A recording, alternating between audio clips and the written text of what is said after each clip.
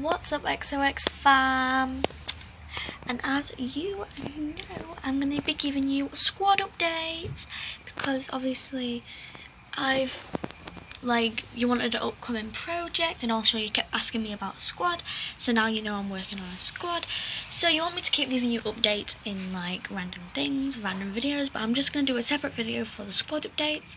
So I have got some updates from last night and the squad update I've got this notebook which I've been writing everything in and I've asked one person and you will know who that is, Ellie, and Ellie said yes, so really cute, love you Ellie, and now she is in the squad.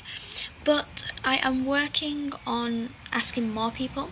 I've put a poll out, a poll or a poll, whatever you call it, on Instagram. Oh my gosh, I think I just got stung, that hurt, ow. Anyways, so, um, yeah.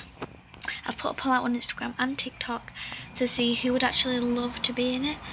Um, I don't really know, but the thing is, I want people to be in the squad and we can take squad photos. We can meet up a lot of times a week because we need to meet up a lot. But obviously, I go to school, we might go to separate schools, but that's fine. But it's we can go to separate schools. That is fine because me and Ellie go to separate schools, but like we're still um, best mates. So that's the XOX crew update.